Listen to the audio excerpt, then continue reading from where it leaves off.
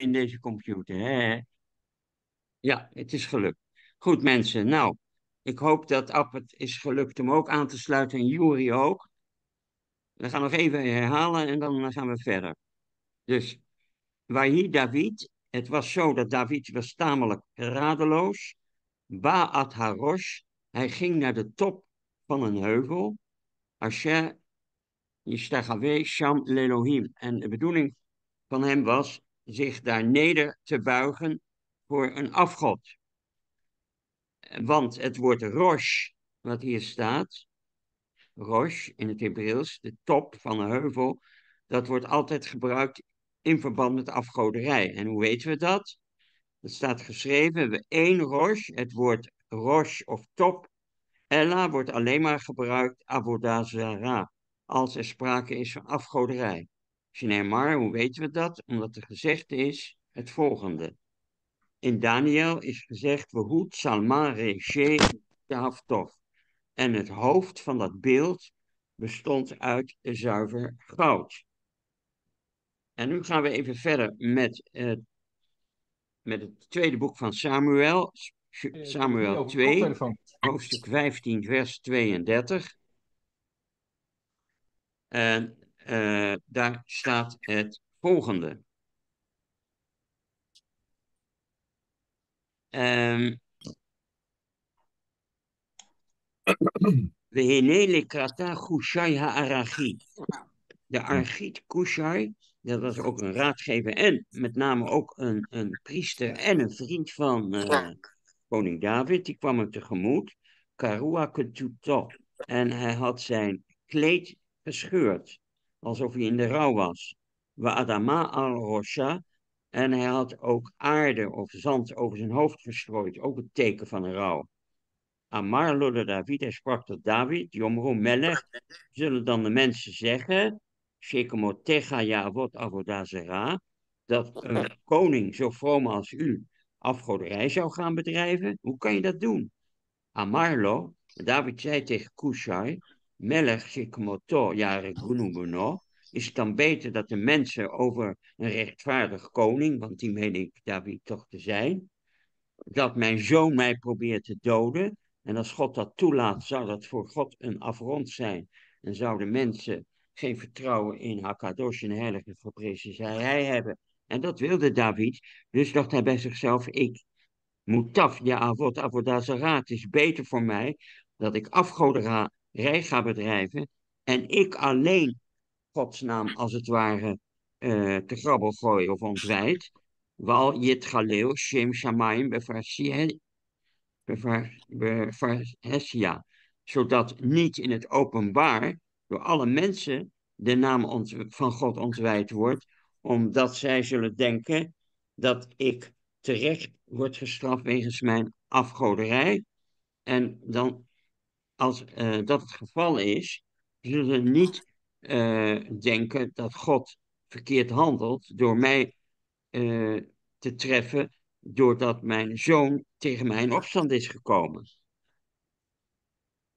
Amar Maitama, Kushai, Kushai sprak tegen David, Maitama, waarom, waarom doe je zo?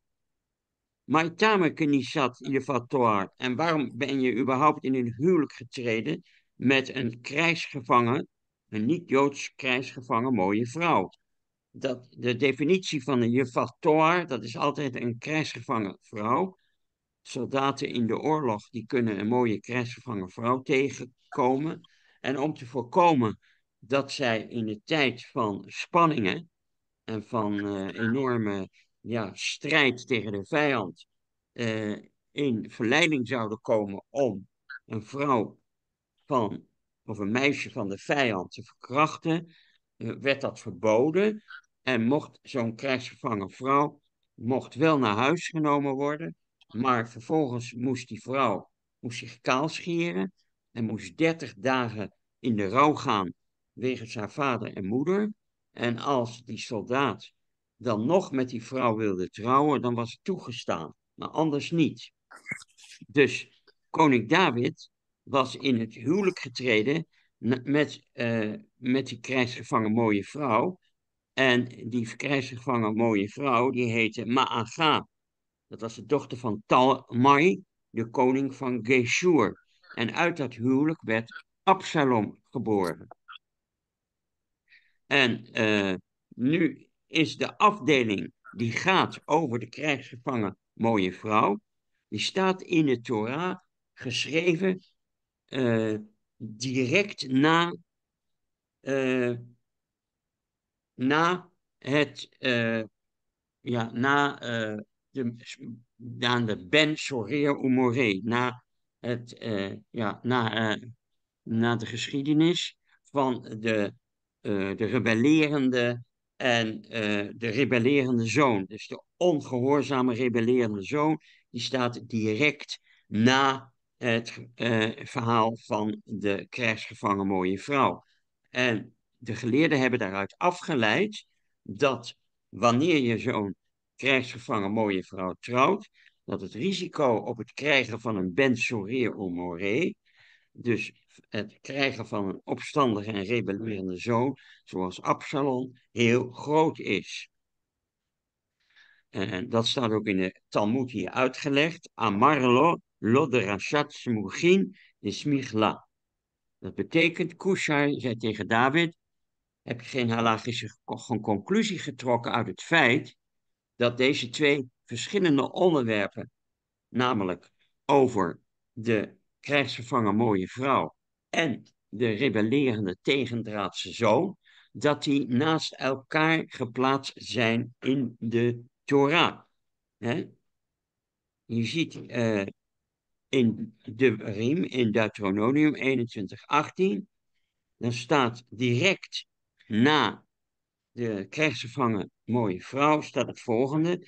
Ki je le ish ben sorer umore, wanneer een man een tegendraadse en rebellerende zoon heeft, enenu shomer bekol aviv, die niet luistert naar de stem van zijn vader, uwe kol imo, en ook niet luistert naar de stem van zijn moeder, we Yisru Otto, zodat hij uiteindelijk door de rechtbank gekastijd wordt, maar hij luistert nog steeds niet naar hen, et cetera, et cetera.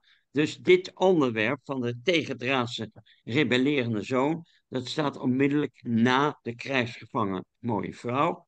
En daaruit wordt de halagische conclusie getrokken dat je weliswaar met een krijgsgevangen mooie vrouw mag trouwen. Volgens het voorschrift moet zij dan inderdaad eerst 30 dagen in de rouw voor haar ouders zijn. En ze moet kaalgeschoren worden. En als die soldaat, of de koning in dit geval, nog met die vrouw wil trouwen, dan mag dat en anders niet. Als hij niet met haar wil trouwen, dan moet hij die vrouw vrijlaten. En, en dan moet hij eh, die vrouw een, uh, ervoor zorgen dat zij leven, van levensonderhoud kan voorzien worden. Dorash Rabbi Dostai de Min Biri. Rabbi Dostai uit Biri, die verklaart het volgende. me David Domé le Socher Kuti. Met wie kan David vergeleken worden? Hij kan vergeleken worden met een Cutaneïtische koopman. Een Cutaneïtische koopman die stonden bekend om hun listigheid, hun scherpzinnigheid, zoals ook hier staat, hè, volgens Taroeg en andere commentaren, is die een hele slimme onderhandelaar. En zo dit ook David met de heilige geloof zei hij. Eerst vraagt hij vergiffenis voor zijn zonde, die, eh, die hij niet met opzet heeft verricht. En vervolgens vraagt hij God ook zijn zonde die hij met opzet bedreven heeft te vergeven. Ja, dus hij vraagt eerst iets wat God makkelijk vergeeft. En vervolgens uh, vraagt hij aan God ook de zonden te vergeven die hij expres bedreven heeft. Zoals de zonde met Bathsheba. En anderen leggen de term Cutaneïtische koopman uit als volgt. Een Cutaneïtische koopman is bereid meer te betalen, maar dan moet de verkoper alle koopwaar aan hem verkopen. Op gelijke wijze was David bereid al het lijden op zich te nemen dat God hem had toebedacht, uh, zonder dat in mindering te brengen van zijn verdiensten. En de Midrash daarentegen vergelijkt David met de Neïtische bedelaar. Om, of iemand die steeds rondloopt, dat betekent sogeer, verkoper en eerst vraagt hem wat te drinken. En dan vraagt, vraagt hij een bedelaar om een ui. Dan vraagt hij om een stuk brood om zijn ui te eten, et cetera, et cetera. Zo vroeg ook David iets kleins aan, aan de heilige geloofde hij. En vervolgens vroeg hij steeds meer. Dus eh, David probeerde het uh, op een handige manier te doen. Amar Damit livne Akadosh Baruch uh, David sprak tegen de heilige geloof, zei hij. Hij zei namelijk, Ribono Shel Olam, heer van de kosmos. Shigiot Miyavi, wie kan al zijn fouten kennen? Shigiot, dat zijn eigenlijk fouten die je onbewust gemaakt hebt. Wie is in staat dat allemaal te kennen? Uh, dat is uh, een psalm die hier wordt aangehaald, namelijk uh, hoofdstuk 19, vers 13 en 14. Idiot Mia, wie minister Rotnakeni, wie, al zijn, wie kan al zijn fouten erkennen en spreekt me daarom vrij van zonden die, ik, die voor mij verborgen waren, die ik onbewust gedaan heb. Gammizedim, en dan gaat hij verder in zijn onderhandelings, uh, in zijn koopmans uh, slimmigheid naar de heilige geloof, zei hij. Gammizedim Gasoch afdega. Weerhoud uw dienaar ook van opzettelijke zonden. Denk aan het verhaal van Bathsheba. Al as etam veniketi mi peshara. Laat deze niet de macht over mij overnemen. Dan zal ik vermaakt zijn en dan zal ik ook weer gezuiverd zijn van al die grote zondes die ik met opzet heb bedreven. Dus eerst zegt hij, hij begint te onderhandelen. Minister Rot naar Keni, spreekt mij vrij van verborgen zonden. En dan zegt God, jouw verborgen zonden zijn vergeven. Shwikilog. En dan zegt David, Gammezedin Gasoch. Wie houdt, ook u, wie houdt mij ook en spreekt me ook vrij van mijn opzettelijke begane zonde. En God sprak tot hem, Shwikilog. Jouw opzettelijke zonden zijn je ook vergeven. Eigenlijk is weerhoud uh, spreekt mij vrij. Hè? Spreekt me.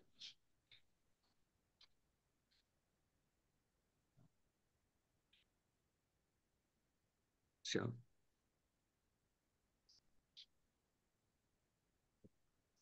Nou, al imshlubi as etam de lo nishtaubi rafavun shvikin lach. Laat die, eh, laat die zonde en laat uh, Satan niet de macht over mij overnemen. En als inderdaad, wanneer ik de slang in mij, de nagash, de Satan kan bedwingen, dan zal ik volmaakt zijn. Uh, en als dat het geval is, dan zullen ook in de toekomstige slachten de rabbijnen, wij met z'n allen, niet over de fouten van David spreken en over zijn overtredingen die hij opzettelijk gedaan heeft. God sprak tot hem, je zonden zijn je vergeven. En tenslotte, ten leste, ten derde, vroeg David het volgende. Peshara. Ik zal dan gezuiverd zijn van grote zonden. Shelo jechtov sergoni. Zodat zij zelfs niet over mijn zonden geschreven wordt in de nacht. Dus David vraagt, laat mij dan ook gezuiverd worden van die zonden, zodat die ook niet in de nacht beschreven worden. Nou, dat kan natuurlijk niet. de, hele geschiedenis van Bathsheba, die kon, die kon je niet helemaal weglaten. Dat is onmogelijk. Amarlo, God sprak namelijk tegen hem, Ifshar, dat laatste wat je vraagt, dat kan ik onmogelijk voor je doen. Waarom niet? Omai, Umayut, Talti met Sarai. Het is namelijk zo dat Sarah, de vrouw van Abraham, eerst Sarai met een Jood heette en Abraham heette Abraham. Dus Abraham werd Abraham en Sarai werd Sarah. En die Jood die werd weggenomen. Ja, dus God zegt de Jood Shenatalti, de Jood die ik wegnam uit de naam Misarai, uit de naam Sarai, Omeet Vetsover Kamashanim. Ja, die Jood die bleef voortdurend tegen mij gedurende vele jaren protesteren, omdat deze letter uit mijn Torah werd weggenomen. En de letter Jud die bleef voor de troon van God staan en vroeg, waarom heeft u dat gedaan? Ad Sheba Yehoshua. En God kon daar pas verandering in brengen aan al die jaren van protesten van de Jood tot Jehoshua kwam. Wohosafti lo en hem aan hem aan de naam Jehoshua heb ik de Jood toegevoegd. Ik heb een letter aan hem toegevoegd. Hoe weten we dat? Omdat er staat geschreven. Uh, even kijken. In Numeri, Bamidbar, hoofdstuk 13, vers 16. Ene Shemot Anashim. Dit zijn de namen van de mannen. Asher Shalach Moshe, die Mozes stuurde, Latour et Haaretz, om het land Canaan te verspieden. Vayikra Moshe Joshua. En Mozes noemde Joshua, bin Nun, de zoon van Nun, Jehoshua. Dus er wordt een Jud bij Joshua, wordt een Jud toegevoegd, het wordt Jehoshua. Dus de Jud die van Sarai was weggenomen, werd bij Joshua toegevoegd, zodat het Jehoshua werd. Jacques, Jacques. In Talmud Sota. Jacques, mag ik een vraag stellen? dus wij... Wil iemand wat vragen? Ja, ik, Eduard.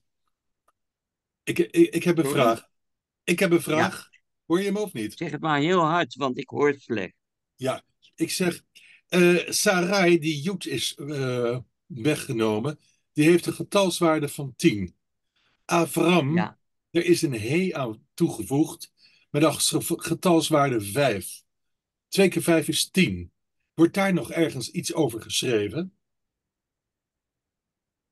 Begrijp je de vraag? Kijken, Abraham, Abraham, Avram, getalwaarde 5. Wacht even. Uh, ja, is heel interessant wat je zegt, uh, uh, Eduard. Ja. Uh, kijk, Abraham, er werd een he toegevoegd aan zijn naam. En de jood die bij Sarai wat werd weggenomen, hè, de jood en de he vormen samen een afkorting van de godsnaam. Precies. Ja. Hè, ja is een godsnaam, jood, he. Ja. Dus die uh, jood die werd weggenomen en die protesteerde, want Gods naam werd onvolledig doordat de Jood werd weggehaald. Dus daarom bleef de Jood protesteren voor Gods troon en daarom kwam de Jood ook weer terug bij de naam Joshua. Hele goede opmerking, Eduard, dankjewel. Goed, dan gaan we verder. Uh, nou, uh, ja, dus Mozes noemde Hoshua, de zoon van Nun, Jehoshua. Ja, kol haparasa kula kama kama. Dus in het geval van Sarai, waar de Jood werd weggenomen, wordt gesproken over het feit dat de Jood jarenlang protesteerde tegen de, tegenover de troon van God, dat hij van de naam Sarai werd weggenomen. En God zei nu tegen koning David, als nu al de letter Jood protesteert jarenlang dat hij is weggenomen, hoezeer zullen dan alle letters en woorden en verzen protesteren als ik deze wegneem uit dat hele hoofdstuk over jou en Bathsheba, als ik dat weghaal? Dat kan niet, begrijp je? En daarom is het volgende geschreven, Weniketi Mipeshara. En dan zal ik gezuiverd zijn van grote zonden. Ja, Amarle vanaf.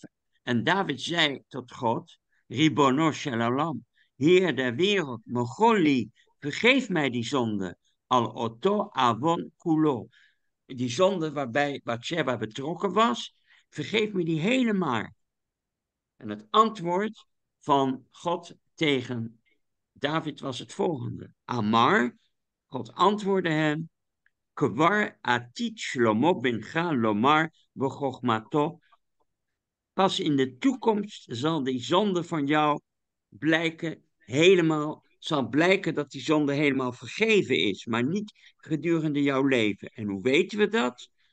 Omdat Amar in de toek, uh, omdat kwar atit in de toekomst jouw zoon Salomo, Shlomo, Binga, je zoon, Lomar Begochmato, zal in zijn wijsheid in de spreuken het volgende zeggen. In spreuken de Michelet staat van in hoofdstuk 6, vers, 6, vers 27 tot 29. Hayachter ish eish begeko, lotis. Kan een man dan vuur tegen zijn borst houden zonder zijn kleren te verbranden? Het is toch mogelijk. Kijk, als je al een sigarettenpeukje achter je blouse uh, houdt, dan verbrand je huid. Laat staan, als je een vuur onder je blouse houdt, dan verbrand je helemaal. Dat is onmogelijk. Im leeg is allegegalim veraklaf lo te. Kan een man over gloeiende kolen lopen zonder zijn voeten te verbranden? Nou, in India is dat wel mogelijk, maar in het algemeen kunnen mensen niet over gloeiende kolen lopen. Geen Ava el Ehu. Zo vergaat het degene die de vrouw van zijn naaste bemint, dus de vrouw die al getrouwd is met een andere man. Laule nake kolanegaba. Wie zich met haar inlaat, kan niet ongestraft blijven. Dus koning David, die bleef niet ongestraft. Namelijk, zowel koning David als Bathsheba, die verloren hun eerste kind. Die zou maar zeven dagen leven. En op de dag voordat hij besneden zou worden, zou het kind sterven. Dus, dat zegt de Gemara, de Talmud, die herhaalt uh, deze versen uit de spreuken van Salomo. Hayechte is ees begeko, kan een man vuur tegen zijn borst houden. Nou, je ziet het woord is en het woord ees. Het enige verschil tussen Ish en Ees is dat een man heeft een joet, een goddelijke joet gekregen. Die joet is tien, die bestaat uit twee delen, uit een vijf plus een vijf. De slechte neiging en de goede neiging in de mens, die maken hem tot mens. En de bedoeling is dat die goede neiging, die vijf, van de slechte neiging bedwingt. Dan, in dat geval, wordt het ees, het vuur in de man, wordt een ish, wordt echt een man. Dan is hij een man als hij zijn vuur bedwingt. Dus, hayerte ish ees begeko, is het dan mogelijk dat een man zijn vuur tegen de borst kan houden? Hoef ik dof lo tisrefeni, zonder zijn kleren te verbranden? Imjaloch ish algegalim, kan een man over gloeiende kolen lopen, waraklof lo te ja, zonder zijn voeten te verbranden. Geen haba al eeuw. Zo vergaat het degene die met de vrouw, met de getrouwde vrouw van zijn naaste uh, ontucht pleegt of haar bemint. Kol anogea ba. Wie zich met haar inlaat, met een vrouw die getrouwd is, kan niet ongestraft blijven. En zo is het ook met jouw koning David. Amarlo, kol hegi nitreet hahu gafre. David zei tegen God, zal die man, zal die man, en hij bedoelt zichzelf, is een eufemisme, zo erg in de problemen komen zonder dat hij enige kans krijgt om boete te doen voor zijn overtreding. Dus zal die man, daar bedoelt koning David zichzelf eigenlijk mee, zullen hier, hè, zal deze man, is het eufemisme voor zal ik, dus David bedoelt eigenlijk zichzelf. Amarlo, en God antwoordde hem, Kabel Alecha Yisurin. Accepteer daarom dat je veel te lijden krijgt. Yisurin, dat, dat zijn de, de lijdensweg die een tzaddik, een rechtvaardig mens, en koning David was in wezen een rechtvaardig mens, maar hij moest toch lijden. Hij was niet een volledig rechtvaardige, hij was geen tzaddik gamour. Een volledig rechtvaardige die lijdt niet, maar een tzaddik, een gewone tzaddik, die wel zonde heeft begaan, maar toch rechtvaardig is, die moet accepteren dat hij veel te lijden krijgt. Kabel Alaf en David accepteerden dat hem veel ontberingen en leed te wachten stond. En daar, dat gaat de Talmud zo uitleggen. Amar Rav Yehuda, Raaf Jehuda zegt namelijk uit naam Amaraaf, uit naam van Raaf het volgende.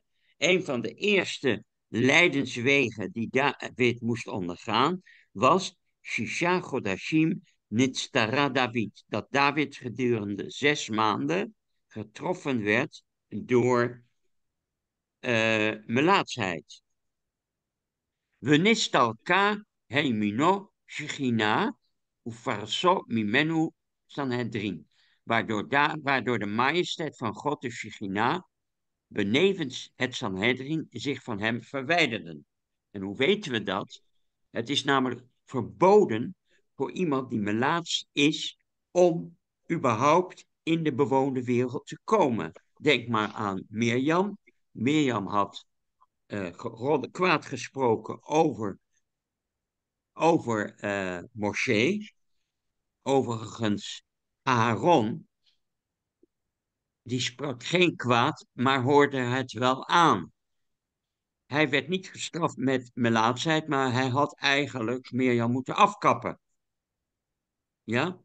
Dus het kwaadspreken, eigenlijk sprak Mirjam niet zozeer kwaad, maar ze sprak, uh, ze zei dat Moshe geen gemeenschap meer had met zijn Cushitische vrouw, met Sipora, omdat Moshe voortdurend in contact stond met Hashem, met God. En Sipora die, uh, die, uh, die, vond dat, uh, die vond het belangrijker dat Moshe in contact stond met God, dat aan haar dan dat aan haar behoefte voldaan werd. En daar werd over gerold door Mirjam tegen Aaron. En daarom werd Mirjam melaats. Nou, je kent het verhaal dat Moshe verschrikkelijk, uh, dat Moshe en Aaron en Mirjam, die werden buiten het legerkamp geroepen. En uh, ze moesten voor God verschijnen. En de lichaam van Mirjam was zo wit als sneeuw geworden door de melaatsheid. Dat vond Mozes verschrikkelijk. Hij bad tot God vijf woorden. Eeuw na refanala. God genees haar toch. Als je echt met intentie in je hart bidt voor iemands genezing, hoef je geen lange genezing, hoef je geen lange gebeden uit te spreken tegen, op zich, tegen Hakadosh Baruch tegen de heilige geloof, zei hij.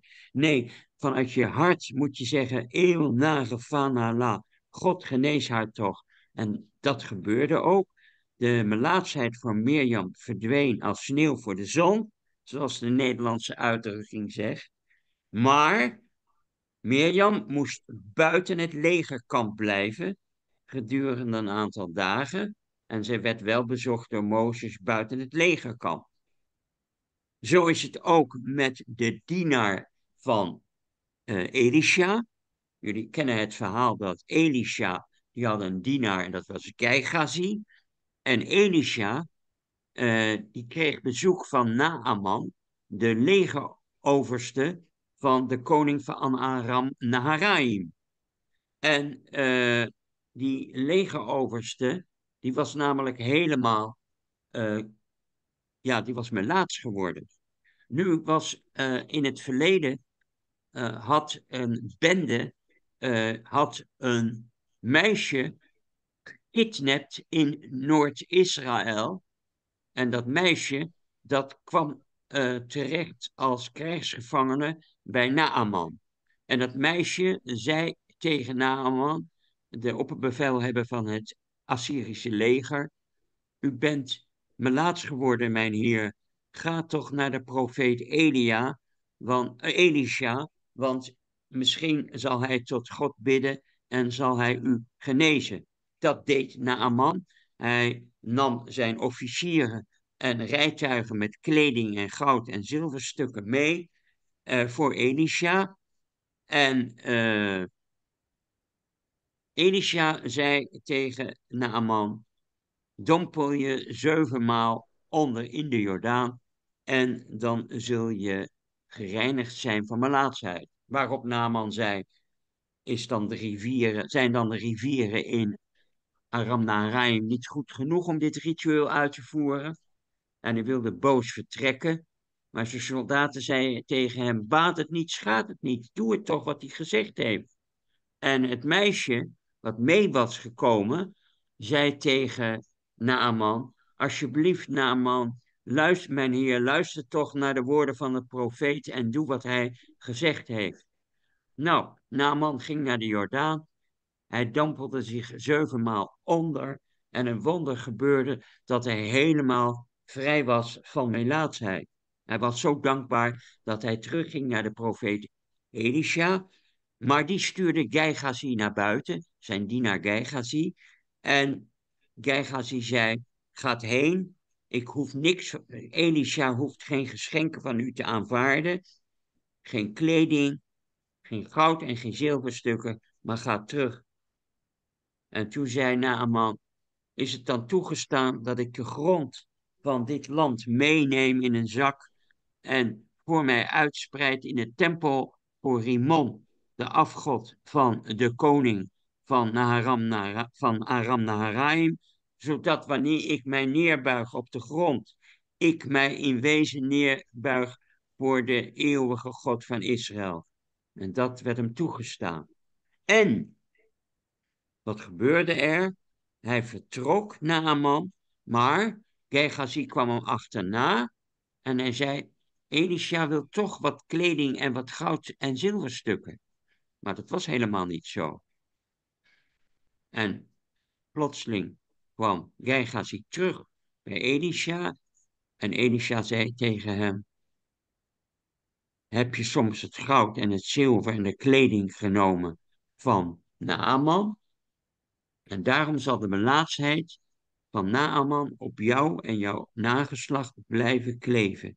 Dus de vloek die Naaman had, die werd overgegeven aan Gehazi. Maar in dit geval, hè, we spreken dus een ander geval van melaatsheid, dat heb ik misschien wel aan jullie verteld, is dat Moshe Rabbeinu, Mozes onze leraar, uh, God zei tegen Mozes, ga naar Egypte om mijn volk uit te doen voeren. Maar Mozes zei, ze zullen niet naar u luisteren. Want wie bent u? God zei, ik ben die ik ben. Maar jij steekt je hand onder je boezem. Dus hij moest zijn hand onder zijn bloed steken. En toen moest hij zijn hand weer tevoorschijn halen. En die was helemaal wit geworden van melaatsheid. Waarom? Omdat Mozes kwaad had gesproken over het volk. Want hij had gezegd, ze zullen niet naar uw God luisteren. En ze luisterden wel naar God. Dus dit wonder, wat geschiedde, gebruikte Mozes niet bij Farao. Het wonder van de stok die in een slang veranderde, dat gebruikte Mozes wel, maar niet van de belaatsheid. Want dat was het wonder wat hij persoonlijk overkwam, omdat hij kwaad sprak over het Joodse volk. Men zegt dat uh, psychosomatische ziekten, zoals jeuk en eczeem of psoriasis, mogelijk ten gevolge zijn van kwaadspreken. En in dat geval raad ik mensen aan zich te bezinnen en goed na te denken of ze geen slechte woorden meer spreken over de medemens. En dan een tuila te doen, een onderdompeling te doen in stromend water of in hemelwater, zevenmaal het hele lichaam onder te dompelen en dan tot God te bidden en dan zal God u genezen van de huidafwijkingen. Goed, dan gaan we verder. David werd dus getroffen door melaatsheid. En hoe weten we dat? Omdat er staat geschreven in de psalmen van David, in psalm 51, vers 9. Tegateni de ataheer. Zuiver mij met hyssop, zodat ik weer rein zal zijn. Tegapseni umishilek albin. Was mij schoon en ik zal weer witter dan sneeuw zijn. Het feit dat David in dit vers de term hyssop gebruikt, impliceert dat hij hiermee gereinigd wil worden, zoals dit ook gebeurt met iemand die melaats is. Ja? Dan gaan we even weer terug naar het volgende. David zegt bovendien, Hashivali Sasson is erga Veruach Dive Tismegeni. Dus eerst nadat hij dus melaats was geworden, iemand die melaats is geworden, die mag niet in het Sanhedrin zijn. Het Sanhedrin, uh, dat ligt in de, uh, de kamer van de gehouwen steen. Dat is vlakbij het Allerheiligste. En iemand die melaats was, die mag überhaupt niet op het terrein van de tempel en binnen de muren van Jeruzalem komen. Dus David kon niet bij het Sanhedrin komen. Toen bestond het Sanhedrin wel, maar niet binnen de tempelmuren, maar bij het tabernakel van Shiloh. Daar was het, uh, het Sanhedrin gevestigd en David mocht daar zes maanden gedurende de tijd van zijn melaatsheid niet naartoe. En bovendien is het zo dat iemand de, die melaats is, van deze persoon wordt gezegd dat de Shechina, de goddelijke majesteit, zich van deze persoon verwijdert. Dus, Ufirshu mimenu Sanhedrin. En de geleerden van het Sanhedrin verwijderden, verwijderden, verwijderden zich van David. En hoe weten we dat? Negatief, omdat er geschreven is, Yashu vuli Ugo begule. Mogen degenen die u vrezen, mogen die weer naar uh, uh, mij terugkeren. Ja?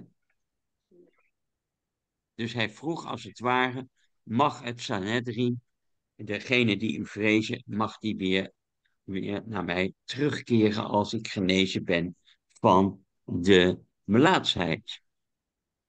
Dus dat die straf van David zes maanden duurde, dat weten we omdat het volgende geschreven is. Wahayamim Hashem melech David al Israël Abaim Shana. En David was veertig jaren koning van Israël.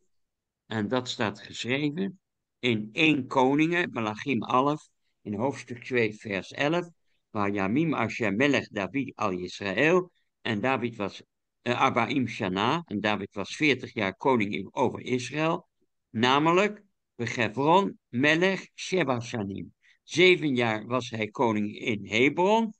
Ubi Malach. En in Jeruzalem heerste hij, was hij koning, Sholoshim Shalosh Shanim, 33 jaren. We Gevron, Malach, in Gevron was hij koning, Sheva Shanim, Yerushalayim Melech Shaloshim Shalosh Shanim. En in Jeruzalem was hij 33 jaar koning.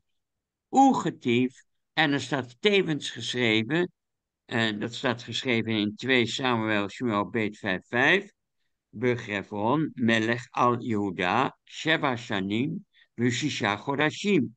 In Hebron was hij koning over Juda zeven jaren en zes maanden. Yerushalayim Melech Shloshim Shalosh Shana. En hij was koning Jeruzalem over Juda en Israël 33 jaar. Ja? Wehone Shisha Chodashim Lo mana Nu worden deze extra zes maanden, die genoemd worden in het boek Samuel, niet genoemd in het boek der koningen. Want daar wordt gezegd dat hij in totaal 40 jaar regeerde. En niet 40 jaar en zes maanden. Shema Mina trekt hieruit de conclusie, Nitstara, dat hij gedurende deze zes maanden meelaats was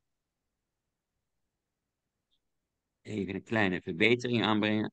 Ja, en David dus geïsoleerd was en zijn koningschap dus niet kon uitoefenen. Dus hij was geen 40 jaar en zes maanden koning, hij was slechts 40 jaar koning. Nog een heel klein stukje.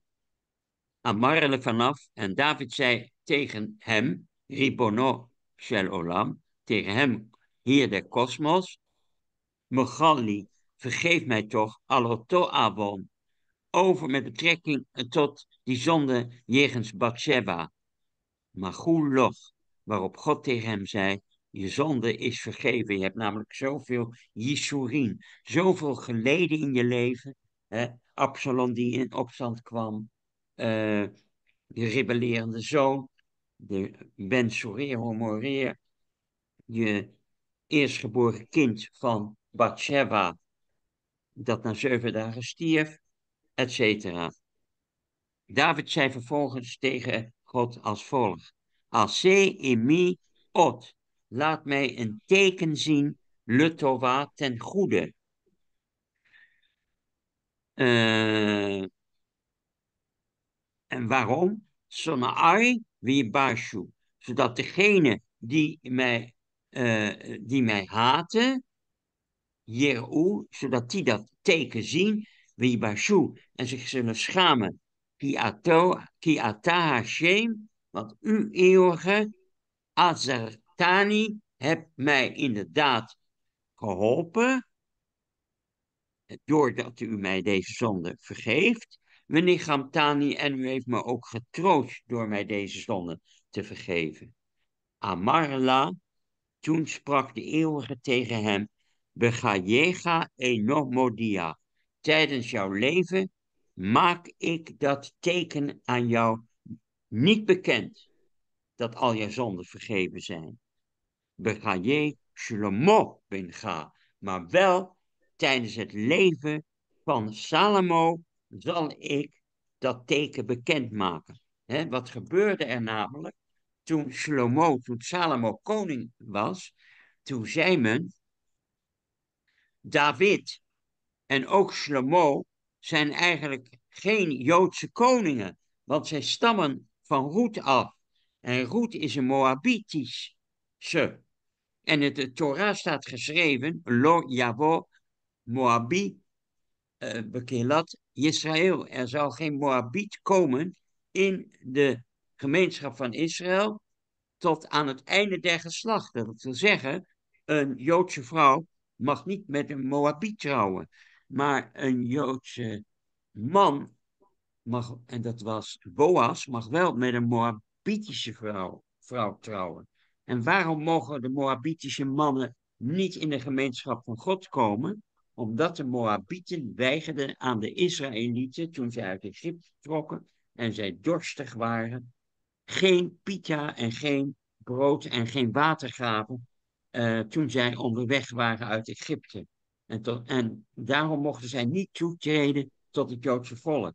Maar de vrouwen gingen stiekem wel uit hun tenten weg en gaven stiekem water aan de Israëlieten. En daarvoor werden zij beloond. En daarom mocht Ruth wel tot het Jodendom toetreden. En dus was David een legitieme Joodse man, afkomstig uiteindelijk van de verbintenis tussen Boas en Ruth. Maar toch waren er nog mensen die David haatten, met twee A's en twee T's, en zeiden, ja, die David is niet zuiver Joods, want hij had een niet-Joodse bedovergrootmoeder. Maar, wat gebeurde een wonder, en dat was het teken dat David vergeven was. Busha'a, op het moment, Shebana Shlomo het Bet HaMikdash, dat Shlomo de tempel had afgebouwd, Bikesh Lagnis Aaron Levet Kodshe Kodeshim. Probeerde hij de heilige arken, het allerheiligste deel van de tempel, binnen te brengen. Davku Saarim Zebazé. Maar de poorten, de toegangsdeuren, de toegangsdeuren tot het Allerheiligste, bleven aan elkaar gekleefd. Ezrim we arba renanot naana. Er werden 24 gebeden werden uitgesproken, maar hij werd niet, maar uh, God verhoorde het gebed van Salomo niet. de Rama, Rabbi Meir Levi Abulafia, die geeft aan dat, uh, dat hij doelt op de 24 psalmen, de Shir HaMa'alot, die open met de woorden als een aanroeping of een bede of een schreeuw. Shir HaMa'alot, onder andere het trappenlied, maar ook andere teling. En dat wordt ook door Rashi nader verklaard. Amar en Shlomo. En Shlomo sprak vervolgens de volgende psalmversen uit. En dat staat geschreven in Psalm Tehillim 24, 7, 8. Se'u sha'arim roshechem, jullie poorten heffen jullie hoofden omhoog. Wenaschu pitge olam, zodat de koning der glorie binnen kan treden. Zodat de koning van de glorie binnen kan treden. Mise melech hakavot, wie is deze koning der glorie? Hashem Izus Vegibor. Dat is de machtige en heldhaftige eeuwige. Gibor Milchama, die heldhaftig is in de strijd. Velonana, maar het gebed van Shlomo werd nog steeds niet verhoord. Kiven Sheamar Hashem Elohim Al Tashef Penemeshigega. Pas op het moment dat, koning Salomo zei, en dat wordt beschreven in twee kronieken, de Hayamim, uh, hoofdstuk 6, vers 42. Hashem Elohim, eeuwige God, Al Tashev, wijs niet af, Pene, het aangezicht, Meshigecha, van uw gezalfde. Zogra, gedenk, Legasde David Afdega, de trouw van uw dienaar David.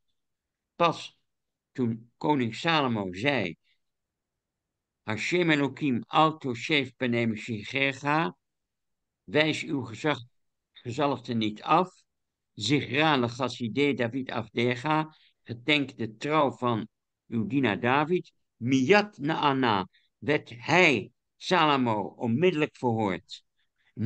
Goed, en op dat moment, pene sonne David, werden de gezichten van de haters van koning David, die over hem roddelden en zeiden dat hij eigenlijk niet Joods zou zijn, omdat hij van een niet-Joodse vrouw, uh, de Moabitische afstanden, die überhaupt volgens hun is niet geschikt was om Jodin te worden, maar dat was juist wel het geval.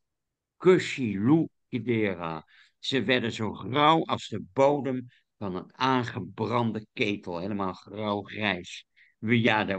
En op dat moment, Kol Israël, wist heel Israël, Shemachal lo dat de heilige geprezen zij hij, David had vergeven. Al oto he'avon beoto sha'a.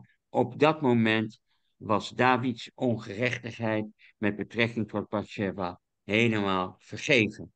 En daarmee wil ik de les van vanavond eindigen. En ik geef het woord aan jullie voor vragen. Ik zal even ophouden met share. Moment. Zo. Nou, er zijn veel mensen vanavond, zeg. Twintig mensen, wel, wel. Geweldig. Nou, zijn er vragen, mensen? Uh, Jacob.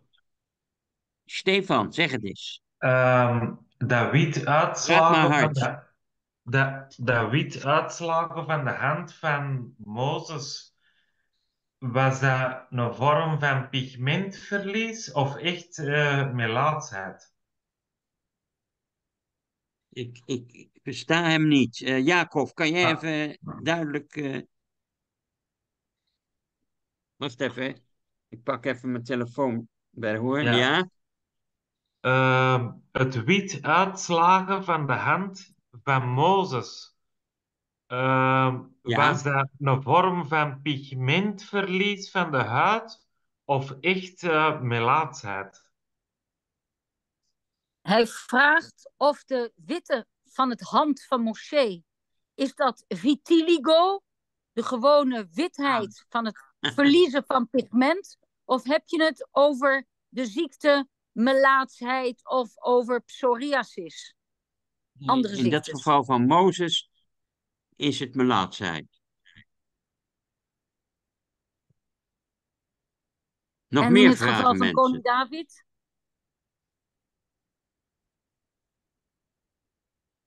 Nee. Wie zwijgt, stemt toe. Nou, er werd, er werd nog gevraagd, en in het geval van koning David. Ja. Was, dat het... melaatsheid? Die half jaar dat het Ah, ik snap het. Ja, koning David was echt melaats. Had hij dan Lashon Hara gezegd? Was dat wegens Bathsheba nog? Uh, even nadenken. Geen idee. Was dat wegens Nov? Of was het zomaar? Nou, Moeilijke kijk, laatsheid is ook een vorm van een issoer, een lijden. Uh, moet ik even nadenken, heeft hij Lashon Hara gepleegd? Heeft David slecht gesproken? Nee, de woorden die uit de mond kwamen van, van koning David zijn alleen maar looflijk gezien alle psalmen die hij geschreven heeft. Dus ik geloof nooit dat hij um, Lashon Hara heeft gesproken. En daarom begrijp ik ook niet de belaatsheid die er dan zou zijn. Ja. Weten we wel zeker dat het melaatsheid is en hoe komen ze eraan? Het staat wel geschreven. Het staat geschreven, maar hoe komen ze eraan? Moet er een, een Agada zijn dan? Ja, ik zal even... Moet, moet er ergens op, op baseren? Even kijken hoor, dan moet ik even kijken in de Gemara.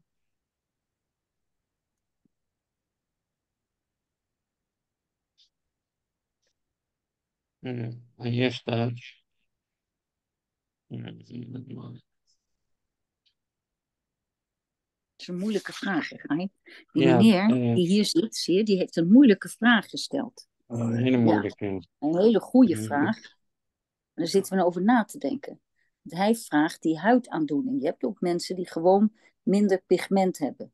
Dat ja, ik denk, danger, ik denk, ondanks het feit dat ik niet weet Marco. waarom David melaats was, dat het toch melaatsheid was, omdat hij zich in die psalm, hè, namelijk psalm 51 vers 9, hmm. dat hij zich uh, vraagt aan God dat hij zich laat indopen met hyssop. Dat is een mengsel uh, van, uh, van een geslachte vogel en bronwater, die zevenmaal gesprenkeld worden op een melaatsheid of iemand die melaats is. En dat wordt beschreven in Wajikra, in het derde boek van de Torah, Leviticus, hoofdstuk 14, vers 6. Dus het moet wel melaatsheid geweest zijn, maar ik weet niet of David kwaad gesproken heeft. van Hara.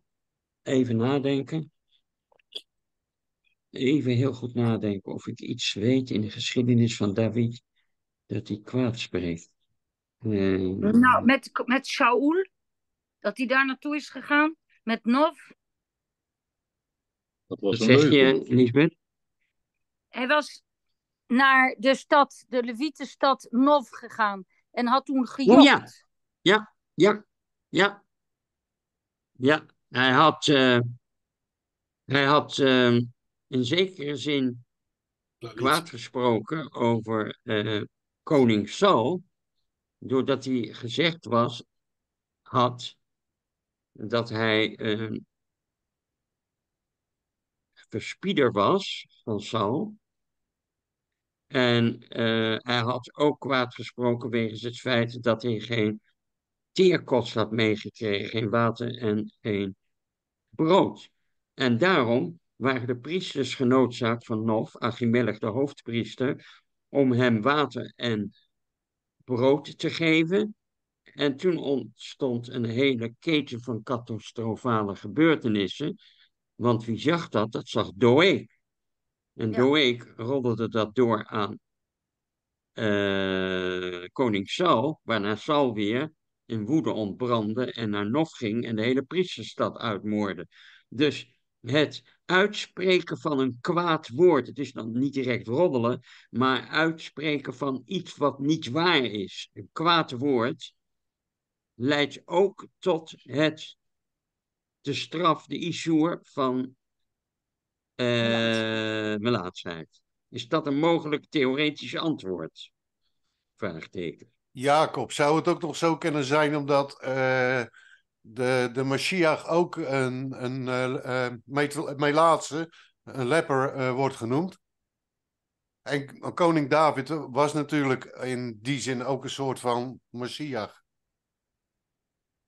Ja, uh, er wordt genoemd, het wordt gezegd dat de Mashiach zich, ja, zich moet krabben wegens ja, de, de, de allergieën en de jeuk die je heeft. En aan de poort van bij de bedelaars van Jeruzalem zit tussen de arme en behoeftige mensen.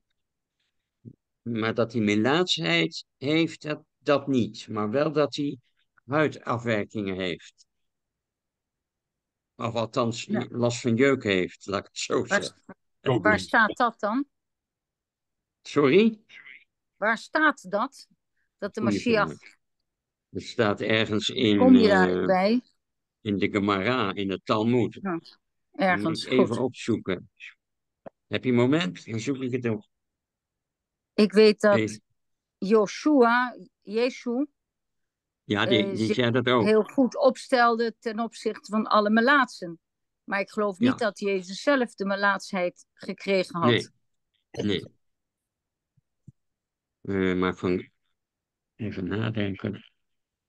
Moeilijk allemaal, één... hè, Gein? Ja, moeilijk verhaal. Ja, ja dat is allemaal heel ja, mama. Ja. Even wachten, jongens. Even nakijken.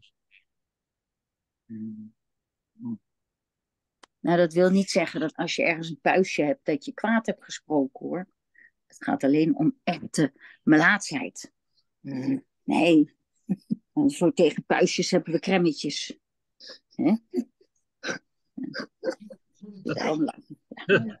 Oké. In, in Talmud Yoma 22b, daar staat wel dat, uh, dat het de melaatsheid David trof vanwege de Bathsheba. Haha, daar hebben we hem. Oh, dat is gewoon omdat ze overspel gepleegd had. Ja. Oké. Okay. Nou, niet omdat zij overspel gepleegd had, maar omdat hij zo ja. ja, erg eigenlijk heel ernstig dat hij haar man naar het, veld het, het slagveld gestuurd heeft. Om, om seks met te Wisse hoop, in de wisse, eigenlijk in de wisse zekerheid dat hij daar zal sneuvelen. Ja. En dan kan die er hebben. Dat is natuurlijk heel, heel erg gemeen. Dat kan je niet maken. Vind ik persoonlijk. Persoonlijk. Ja. Ja, ik heb genoten van jouw artikel van Ganouka, wat jij vorig jaar geschreven hebt. Dat hebben we er weer bij gehaald dit jaar. Dat moet je eigenlijk even doorsturen aan de hele groep. Dan wordt iedereen op een hoger niveau gezet en begrijpt alle vormen van licht met een grote L. Ik heb, je hebt het zo mooi geschreven, zet dat nou nog eens een keer op de groep. Dan worden we allemaal verlicht met een grote L. Ja, ik, ik kom me aanbevolen. Wel ja, ja, zeker. Nou, ik, zal, ik, zal, ik zal het erop zetten, maar je kan ook gewoon naar de website gaan, kan je het ook gewoon lezen. Nee, stuur het nou even op als Hanukkah cadeautje. Oké. Okay. Jacques, ik heb een andere vraag op, op het gebied van oh. psoriasis. Ik dacht dat ik eerst was, maar goed. Geef Wanneer ga je Om heel eerlijk te zeggen. Daniel, uh, ga je gang. Daniel. Ja, nee, ik, eh, ik, start, ik startte er net al. Ik heb uh, uh, genoten inderdaad ook van de, de uitleg en wat mij nou opvalt is het volgende: dat volgens de uitleg het een tijdje duurde voordat de zonden van David helemaal vergeven waren. Maar als we de geschiedenis van David lezen en de, de profeet Nathan eh, komt en confronteert hem met de zaak, dan, eh, dan zegt David: Ik heb gezondigd, waarop dan onmiddellijk het antwoord komt: Uw zonden zijn u vergeven. Hoe zit dat? Zo moeilijk. Uh, dat is een goeie. Ja. Weliswaar vergeven. In de verleden tijd of ze zullen vergeven worden? Nee, ze zijn vergeven. Voltooid deelwoord.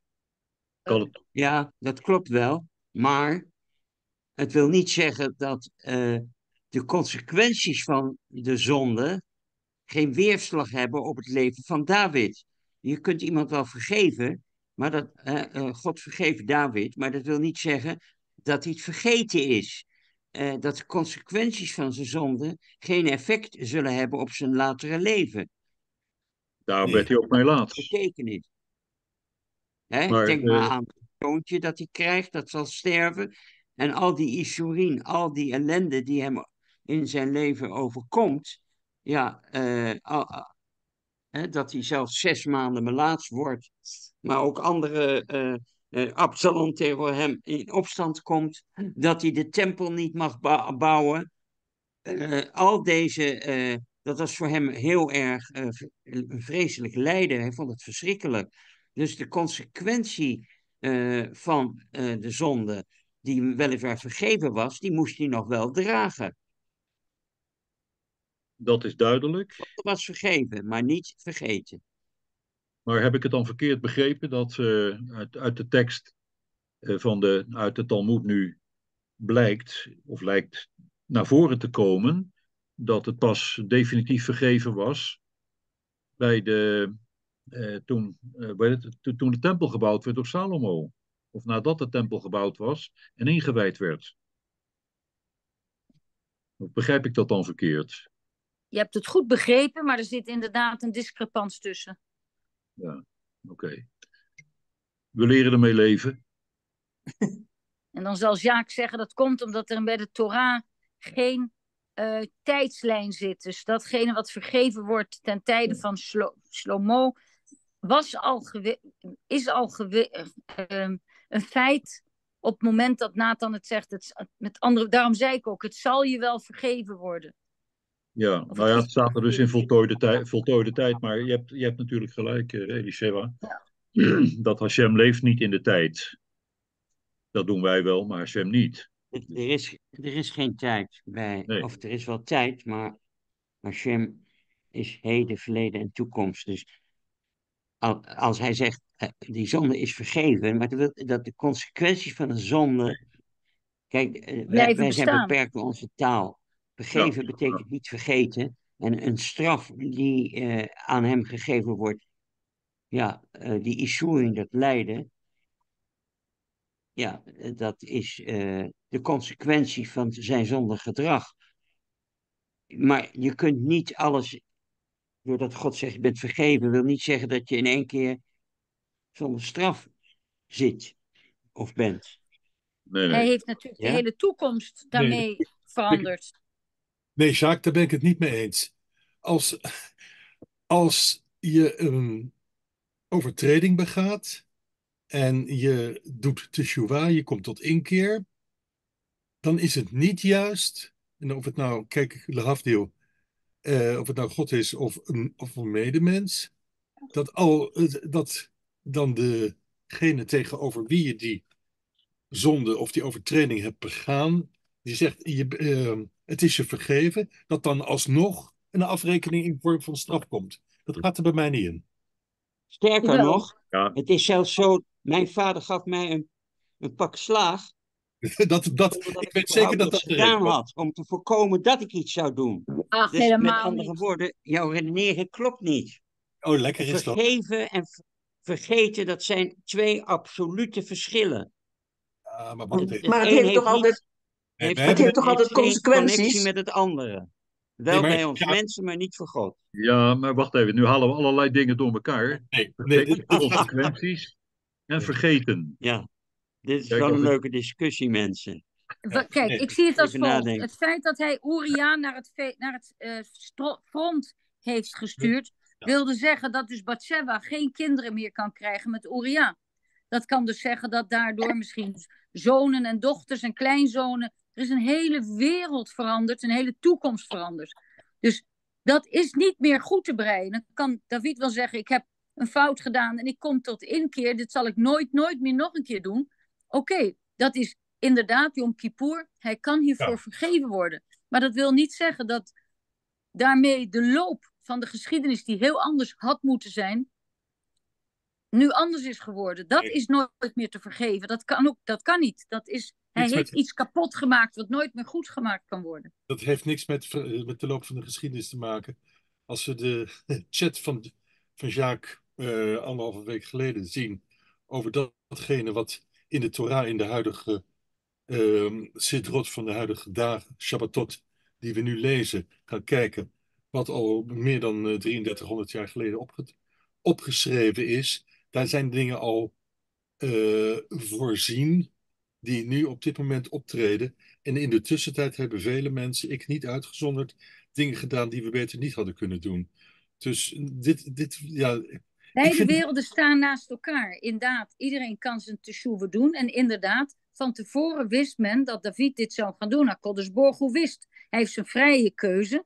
Toch wist hij van tevoren dat hij dat zou doen. Nou ja, precies. Dus, ik, dus dat lijkt moeilijk. Het maakt het, altijd moeilijk. Ik, het maakt mij, het maakt het, dat is in ieder geval de boodschap die ik wil geven. In mijn beleving, en zo zit ik, sta ik ook in het leven, op het moment, en dan heb ik het niet in de relatie tussen mensen God, maar tussen mensen onderling. Als, stel je voor, ik gebruik jou, Lisbeth, even als voorbeeld. Stel je voor, ik heb iets gedaan eh, ten opzichte van jou wat ik beter niet had kunnen doen. Op het moment dat ik zie van ik ben fout geweest, ik kom naar je toe, ik zeg, ik ben fout geweest, wil je mijn excuses aanvaarden? En jij bent zo ruiterlijk om ja. Dat, is iets heel anders als Uriaan naar het strand, front sturen. Waardoor het, is van een andere orde, het is van een andere orde, ja? Dat ben ik wel. Want dat is irreversibel. Terwijl jij kan zeggen, ik heb dat en dat over jou gezegd en dat had ik niet moeten doen, kan je me vergeven? Ja, prima. En dat is reversibel. Maar dit was irreversibel. Omdat hij is komen te overlijden aan het front, dat bedoel je te zeggen? Ja, ja hij heeft daardoor voor gezorgd dat zij weduwe nee, werd. Oké, dat, dat, dat is een inzicht, daar heb je gelijk in. Ja, dat, uh, dat snijdt hout.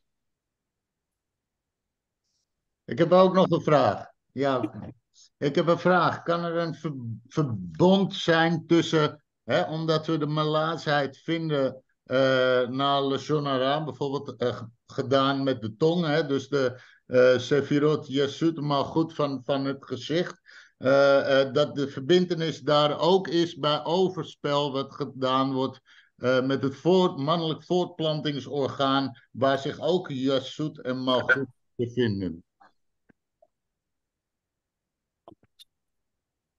Kon je dat volgen, Jacob? Die is voor Jaak. Ja.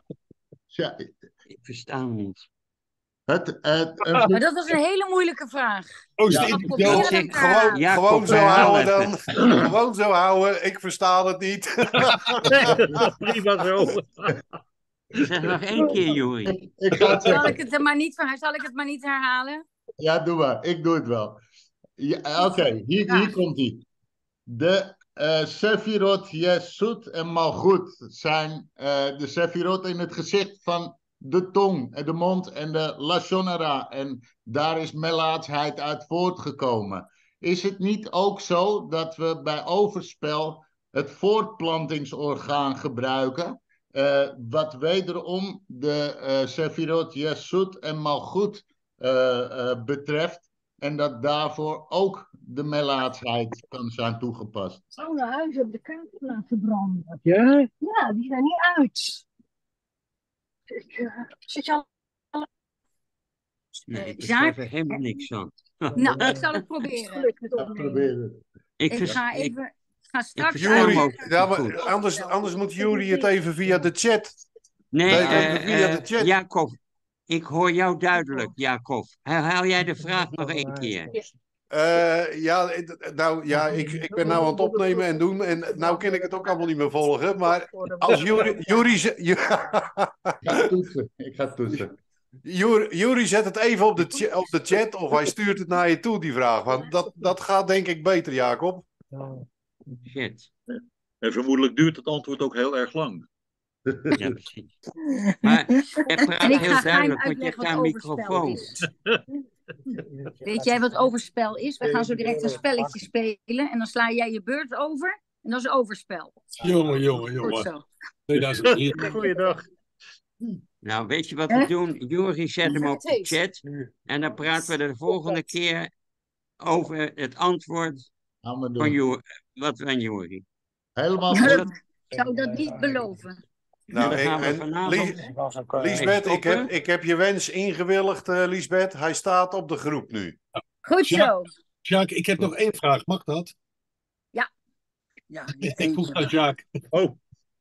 Jacques, ben je er? Of, uh... Hallo? Jacques. Ja? Ben je er? Ik heb nog één vraag. Jij, jij zei iets, maar waarschijnlijk heb ik het niet goed begrepen. Dat... Uh, psoriasis, dat dat een gevolg zou zijn van... Uh, van Kunnen zijn. Van Loa Melaatsheid is geen psoriasis. Nee, dat begrijp ik, maar Jacques noemde het wel als zodanig. Uh, zeg je hierbij dat me mensen die aan psoriasis lijden, dat die consequent Lachonnera plegen? Want nee, want psoriasis nee. is geen melaatsheid. Medisch gezien is melaatsheid... En bovendien, Eduard, bovendien zei, zei Jacques dat niet. Jacques zei, het zou kunnen. Nee, precies. Want, laat ik zeggen... Ik denk in ieder geval dat mensen met een huidafwijking die chronisch is... Precies. Uh, zich zouden moeten reinigen door tefillah. Dat is een spirituele handeling. Zeven keer. In stromend water, zeewater of hemelwater. En zich voornemen.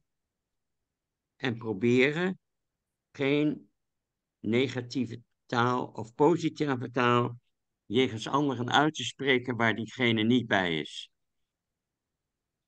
Juist. Dat zou kunnen helpen, spiritueel gezien. Ja. Laat ik het voorzichtig zeggen. Psoriasis, een heleboel mensen hebben last van psoriasis. Dat heeft niets met melaatsheid te maken, nog in het Ivriet, nog in het Talmud. Psoriasis is ook een ziekte die je niet overgaat. Tenzij met bepaalde medicijnen zijn er wat verbeteringen in. Terwijl melaatsheid is iets wat dus duidelijk wel overgaat. Het is per definitie niet hetzelfde. maar dat zeg ik ook niet. Nee, nee, maar er werd over gevraagd. Want dan zouden alle mensen die psoriasis hebben zich afvragen wat voor Lechon Hara zij spreken. Dat... Precies. Maar het is ook familiair namelijk. Juist daarom. Dus het, is, het is geen raad, het is niet met. Ik zou bijna kunnen zeggen, is er een dokter in de zaal? Ja, die is er. Oké mensen, er is één ding bekend. Dat uh, Job krapte zich geloof ik met een uh. Mm. Die had geloof ik ook psoriasis of een of andere huidziekte, maar dat weet ik niet meer. Misschien had hij urticaria. Gewoon Dat kan ook, ja. ja.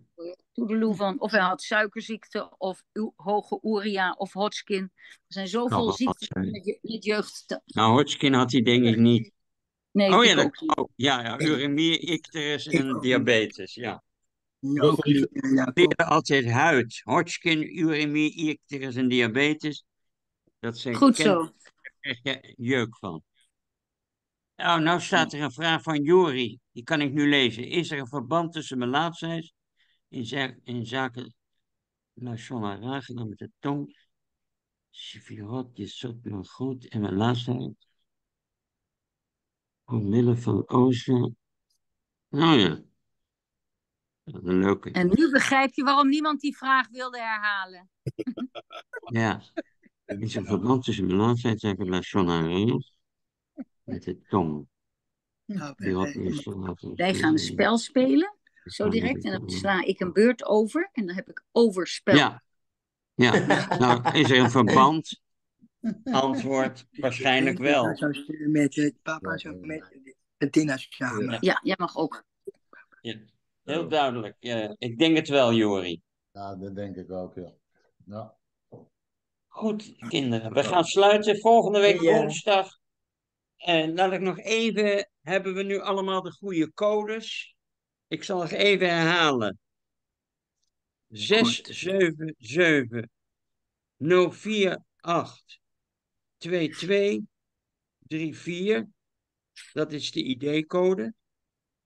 En de pascode is 373 784 neem aan dat degenen die nu inge ingelogd zijn, die code ook hebben gebruikt.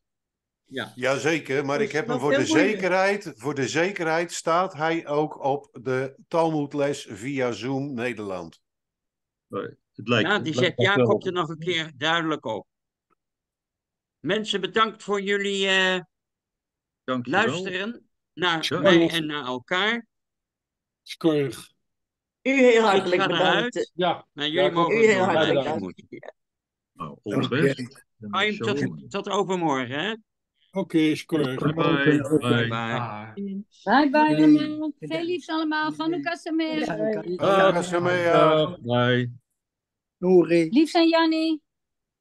lieve Jannie. Bye Daniel. Dag. Dag Guy. Dag. Dag. Dag. Oh ja, die zeggen we ook dag. Dag Eduard. Bye. Groeten aan mevrouw. Ja, ja, zal ik doen. Ligt nu ziek op bed. Wat heeft ze? Last Griep. Ach, gosh. Nou, wensen Refungang Shalemo. Zullen we doen. Goed zo. Oké, be geen storing. Ik had geen internetstoring omdat ik in de kamer zit. Als ik in de slaapkamer zit, heb ik een slechte verbinding. Wat wil je? Hoe? Die tas. Ik zie het dan. Nee? Doe maar weer aan. Ja.